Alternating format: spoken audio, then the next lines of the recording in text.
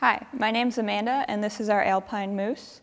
He comes in two finishes. So there is the stained dark brown and then the light natural poplar wood. All the sizes are laser cut and they slot together. They come in three pieces. They also come in three sizes. So the smallest size is packaged in a set of four in this acetate box, and that's this piece here. And then there's also the medium size and then the large size. And we've decided to call him Al. So this is our alpine moose.